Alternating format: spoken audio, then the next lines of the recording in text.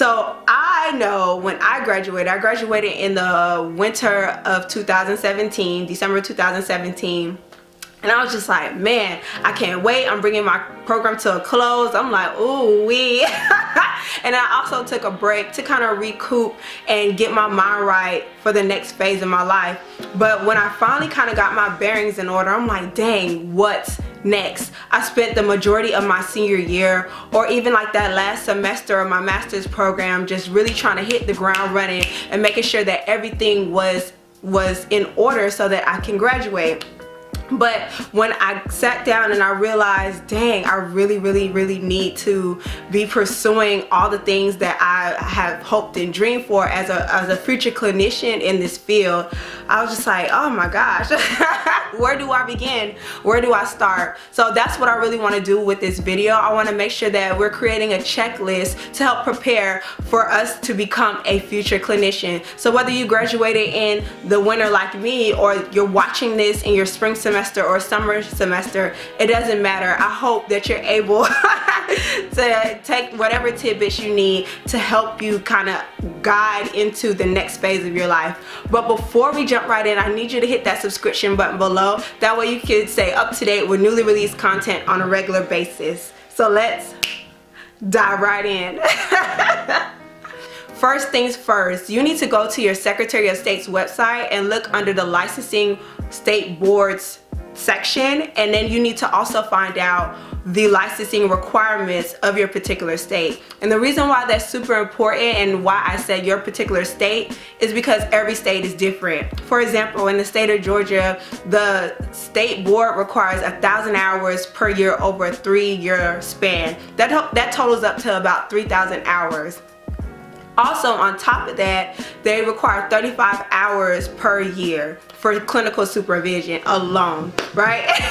You're probably like, wait, what? Oh my gosh, yes. On top of the 3,000 hours, you have to have 35 hours a year for clinical supervision and in comparison to the state of Florida, I know the state of Florida only requires 1,500 psychotherapy hours in total, and they, they also only require 100 clinical supervision hours as well.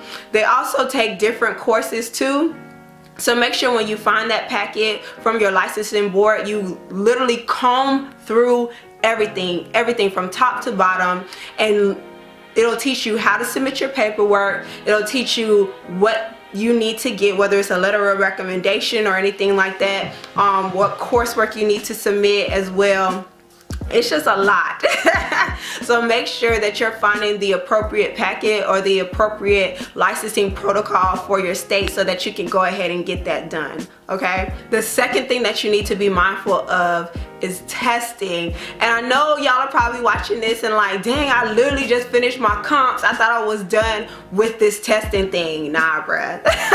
That's not the case. For those who are watching this who are probably not even in their second year of their program or are kind of trying to figure out whether or not the counseling program is for you the comps that I'm referring to is a test known as the counselor preparation comprehensive exam or comprehension exam whichever one so towards the end of your program, in order to graduate from most clinical mental health counseling programs or counseling programs in general, you have to take this test to kind of show the program or show the board that, hey, I know what the heck I've been doing. I'm not just breezing through my courses. I actually learned something. When it comes to testing after your program, it's super important that you figure out what tests that your state needs. Some states require the NCE, which is the National Counselor's Examination, and other states require the NCM CHC, which is the National Clinical Mental Health Counseling Examination. Child, I hope I used the right letters just then.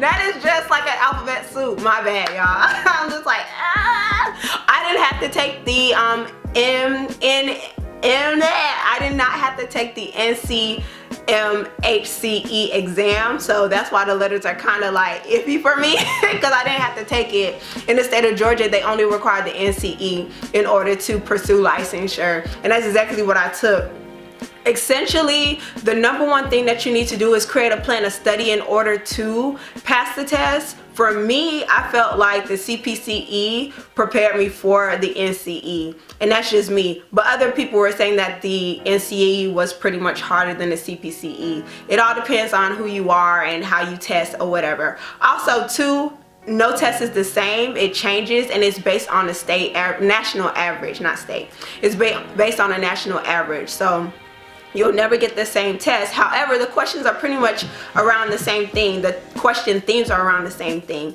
So one great resource that I used when I was testing I used Rosenthal which was super super super super great and amazing from top to bottom. And it's an easy read as well from from what I gather. And a lot of people say that about Rosenthal study guide as well it's an easy read. You can hear his tone. He's a, just a great and amazing teacher. So I'll send you guys a link in the description box below. That way you can also go to the link and purchase it if need be.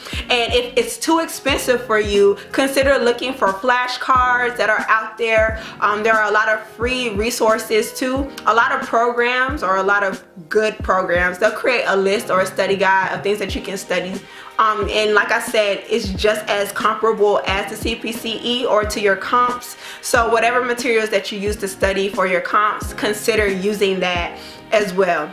The reason why this test is super important is because when you pass it, it allows you to become a board certified, national certified counselor, which is super amazing, okay? You get more letters at the end of your name, number one. And two, it helps promote your resume as well the, the more letters that you have on the end of your name, it clearly means that you have more certifications, you're qualified to be able to practice in certain aspects or in certain ways and just like constantly feed yourself, keep growing. School does not end when you graduate. You must continue to learn. I think that's the, also the reason why we're required to do continual education units as well. And that's something that I'll talk about in a different video or just later on maybe but always feed yourself and always grow so know that in order to get those extra credentials at the end of your name make sure that you're constantly studying constantly learning constantly growing and like I said that information that you acquired from your program you definitely need to hold on to it in order to pass these tests. The third most important thing that you need to be doing is finding you a J-O-B yes a job the reason why it's super important for you to find a job is one you need to be paying your bills and also these student loans that we just racked up okay? Like a master's degree it is quite expensive y'all. Like I saw this meme the other day that was like oh I'm halfway in between getting my master's and then also in between saying dang school is a scam. Like for real. But school is not a scam. If you want to get your master's go ahead and do it. I, I definitely definitely, definitely, definitely think you should go ahead and do it. But I know I, I referenced it as finding a job, but you definitely need to find something that's going to help you build that foundation for the trajectory of your career. And this is super, super important because I know as a recent grad, most of the time it's slim pickings. We really don't have much to choose from because one, they're not trying to hire us because we don't have the experience, quote unquote. And two, we're just pretty much new in the game. But try your very, very, very, very best to navigate through those job postings to see what will help you gain those skills that you need in order to become that clinician that you envisioned yourself to be. This is very, very key and very, very crucial. For me, I started my job hunt super early before I graduated.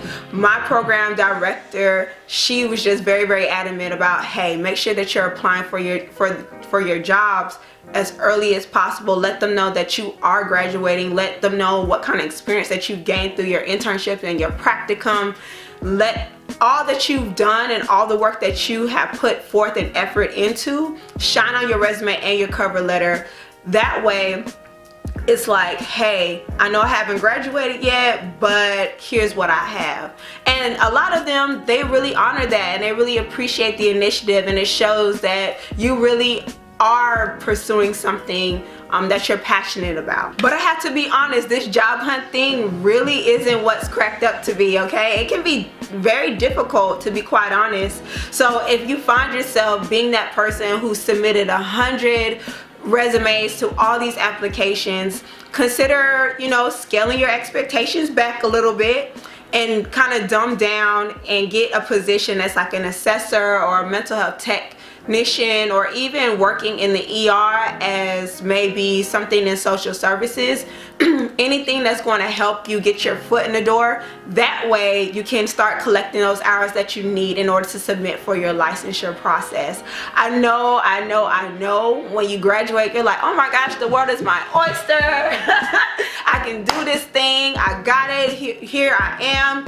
Jobs here I come. Yes yes yes but nah bruh. It, it's difficult. It really is difficult. And you're competing against so many other people who may have more more more more experience than you. But it's all good because what God has for you is for you. So if you're watching this stay stay the course definitely stay the course. You'll eventually get that position that's going to help you in the long run. Now after you secured that job that you need yes mm -hmm, you start making some coin and a little little bank in your pocket please find you a clinical supervisor. And not just any clinical supervisor somebody who's going to walk with you along this journey okay? I think a clinical supervisor is kind of like a guardian angel or that counseling fairy godmother who's going to help you walk through your patients or walk through whatever clients that you have and whatever cases that are on your plate. They will give you such insight and breathe life into you and and encourage you every step of the way. So don't just get a clinical supervisor off of price get somebody that's going to literally help you become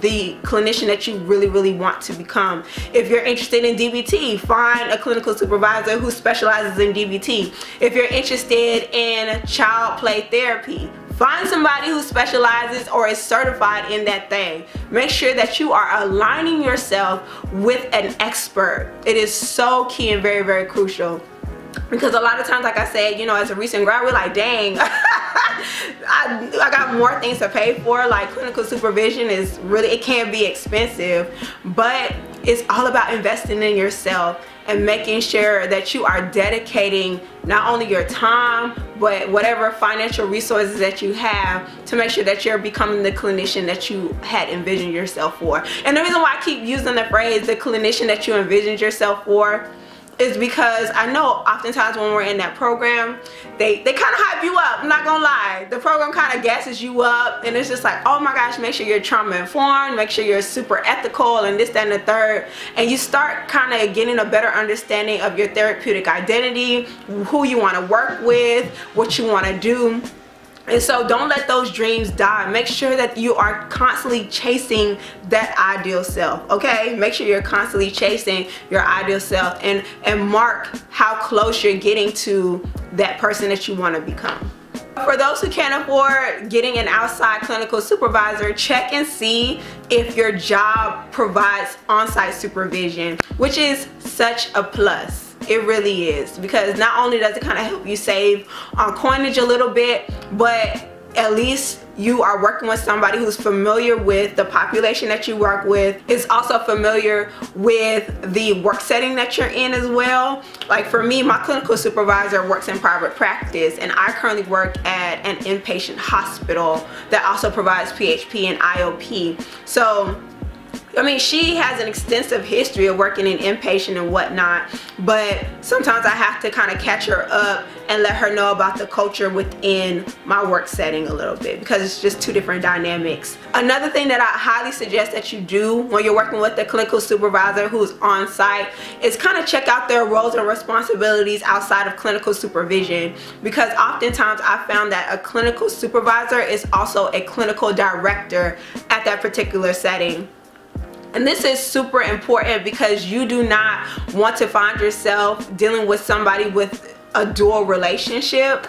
Like you report to them as your boss but you also report to them as your supervisor which for some that's not an issue that's not a problem. At least you're not repeating yourself twice. You're working with somebody who's familiar with the case. And then also too you have the opportunity for them to work with you not only in supervision but outside of it to help you kind of create a solution for your problem. However that can become very sticky because even though what you say in supervision is supposed to be confidential at the end of the day their loyalty lies to the company. For me, I don't ever want to feel like I have to restrict myself when I'm doing clinical supervision. Like if I'm talking to an on-site clinical supervisor, do you have your director's hat on? or do you have your clinical supervisor hat on? Like what lens are you operating in right now?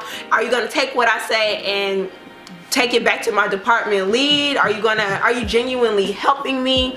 Or are you just trying to make sure you're covering your butt with the information that I provide you? So that's something that you definitely need to consider when you're working with an on-site supervisor. I always find it helpful to make sure that you get somebody who's outside of your organization. That way it can be unbiased and non-judgmental and you don't ever have to worry about whether or not your confidentiality will be breached. But if you're still trying to save them coins, which I don't blame y'all, okay? Trust and believe, because I tried it too. If you are definitely still trying to save those coins, check to see if you're able to do an outside supervisor and an on-site supervisor at the same time. Some organizations allow it, um, but I know not all organizations do it. There are some clinical supervisors who are like, no, I need to make sure that you're only listening to me or and it's not out of selfishness it's because they're trying to protect their license as well. And if there's ever a situation where you end up being unethical the board brings both of their names up and tries to figure out who told this particular clinician to do this. So be mindful of that. If you do end up having both make sure that both of them are aware of the fact that you're seeing two different supervisors. Now that you've done all of that it's time to submit your application for your associate professional counselor's license. Like I said when I say that particular credential and that particular licensure I'm speaking from the state of Georgia. There's other states who have different names for it.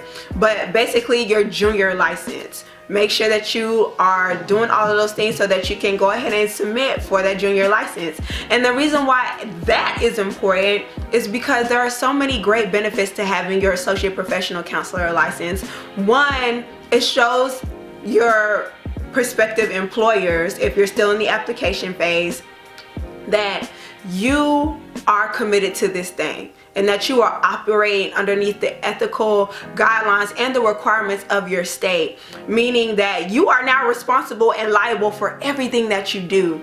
And it creates this cushion for future employers to know that hey you know how we operate in this field and so I'm gonna hold you accountable for what you do and you should automatically know better. Trust and believe y'all. When I say when I say as soon as I got my license I was protecting that thing like never before. Every time there was an ethical issue within my organization or something that just came across my desk I'm like I'm not signing that. I'm not doing this. Uh, can I get a little bit more detail please? Because I just got this thing and I'm not letting it go. When you finally get it you get this cute little like it looks like a not a coupon but you get like a cute little little license thing that you can hang up or you could carry with you. And you also have a number that you can put on your resume or on your website if you happen to have one or your psychology today profile whatever the case may be. It lets people know that you are legit honey. Yes. Okay? Ow and people can look you up to make sure that you're in the system and that you're operating underneath a license that is valid.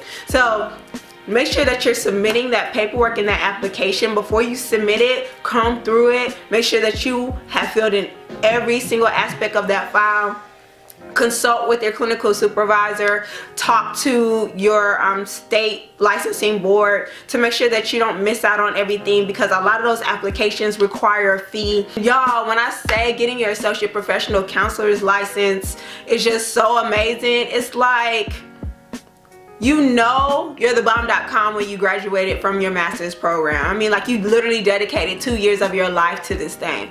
But once you get that little piece of paper, it's just like, oh, yes, all of your hard work is not in vain.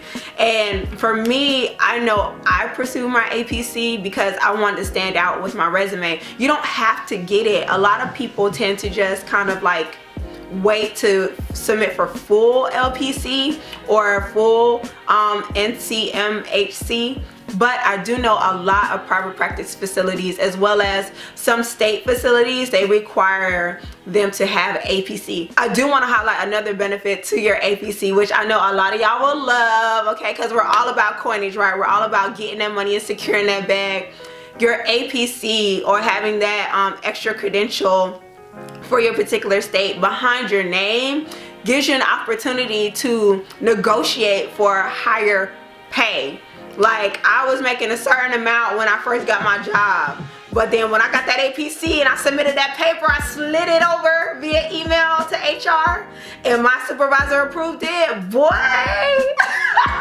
that pay, honey. Oh my gosh. I think I got like an extra three or four dollars. Like my, my pay jumped high, all right, to the mother freaking sky all right? And i was i was super excited. So if anything get your apc and, and additional credentials so that you can be making that money y'all. Yes yes yes yes yes. You worked hard. Now it's time for you to get compensated for it all right?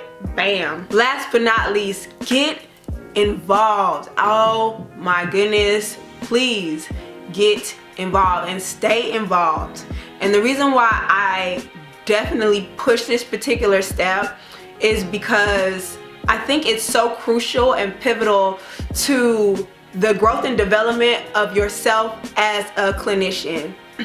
I know as an adult it's super hard to make friends already and then when you step into your cohort as a clinical mental health counseling student you tend to create friends, you tend to create bonds and all of those things but as per usual, when you graduate, sometimes you end up going your separate ways. You guys find different jobs, you're on different work schedules, things of that nature. And I can speak to this now because my little crew that I hung out with when I was in school, like we're all kind of doing our own thing and we're still trying to learn how to meet up a little bit. And we're still growing as professionals within the settings that we're now working in.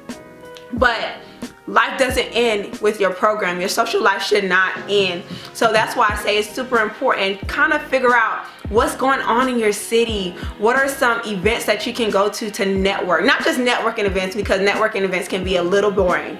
I, I must admit they can be a little boring. So try to find groups where you're not only consulting or talking to other clinicians about the settings that they work in getting a better understanding of what they specialize in because you never know like with talking talking to people you get an understanding of what they do how they do it why they do it and maybe that may be something that you want to add to your future repertoire as well uh, rather than going to pay for the CEU and figuring out, hey, this is not what I want to do.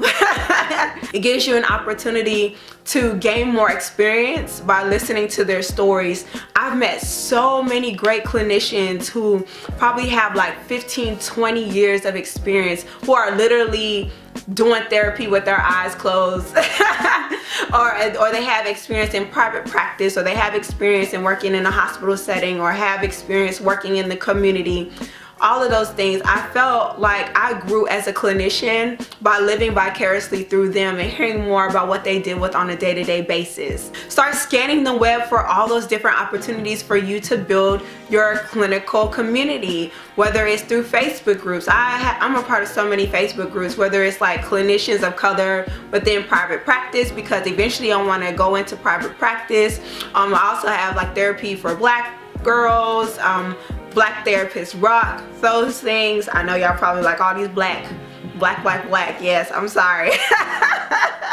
As a clinician of color I need to have support from fellow clinicians. So shout out to all my white followers. I got y'all but I'm just letting y'all know what works for me. Also find things that are for your niche too. The circle. I love my clinical supervisor because she's the facilitator of the circle. I talked about it before with my interview with her. I'll tag y'all in it. She runs a group where we literally just sit down and have topics on a weekly basis just talking about the ins and outs of being a clinician not only in the city of Atlanta but the populations that we serve and how we can grow not only within the therapeutic world, but also from a business perspective, from a private practice perspective, from an entrepreneurial perspective. So find those things that are going to constantly feed you and grow you and develop you as the clinician that you are intentionally trying to become.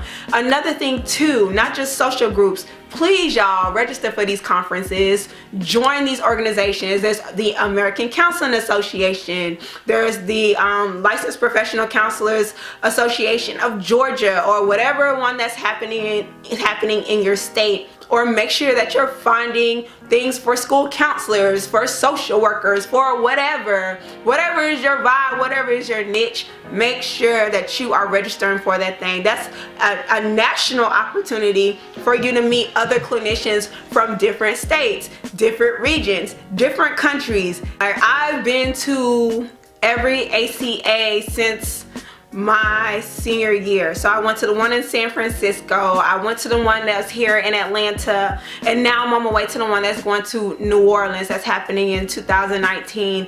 And I've severely benefited from it 100%. I've met some great and amazing clinicians and I've also was able to connect with a lot of speakers and gain more information. Also, the great thing about conferences are most of them allow you to get CEUs. So remember what I was saying was just like your state requires a number of things like whether it's a number of hours, a number of clinical supervision and also a number of CEUs. I believe for the state of Georgia it's 32 hours every two years. Don't quote me on that. I just know I gotta get these hours.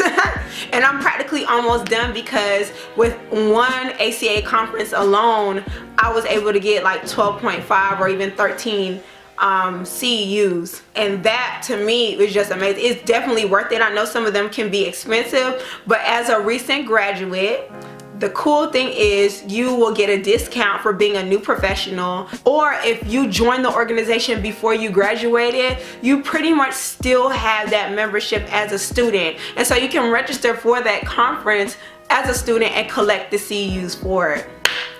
There you go right and and if you can't do a national conference check out local conferences too. It happens all the time. Like I said in order for you to build your community you really have to step out introduce yourself figure out what's going on in your state in your city in your neighborhood. That way you can definitely grow your network and become the clinician that you are called to be I know that was a lot of information thrown at you, but it's all well and good. The great thing about video is that you can always rewind, press pause, you know, jot down some notes, watch it later, whatever the case may be, do what you have to do. I know graduating has been the best thing in your life and you're on cloud nine and you're currently on a high right now, but I'm telling you, I'm telling you after a couple weeks, it's time for you to get your butt up and get to work. It doesn't stop. It does not stop. The grind does not stop. So get in gear and make sure that you're doing these things so that you are setting the course for your career as a mental health clinician. Thank y'all for rocking with me. I'm still trying to get used to these braces. You know, they tearing up my mouth a little bit. I, I had to take the wax out because I didn't want y'all to be talking about me. please, please, please, please, please don't forget to like, comment, subscribe, and share. And hit that comment section below. Let me know where you're watching from, what state you're from, and I will send you the link to your um, licensure board. That way you can start, you know, moving and grooving and doing what you have to do. You'll have no excuses, no excuses. So get your butt in gear, all right? Before I forget, y'all, hey, hey, hey, hey, Legacy Squad, we have merch. So head over to the website and check out all the things that are available. This comes in cardinal red, like the one that I'm wearing right now, as well as gold and heather navy. So head over to legacyspks.com, cop your sweatshirt as well as your official Legacy Speaks t-shirt. Ooh, ooh while supplies last. Thank you so much for tuning in to another episode. Like I said, and then you can definitely stay connected via Legacy SPKS on everything. Until next time.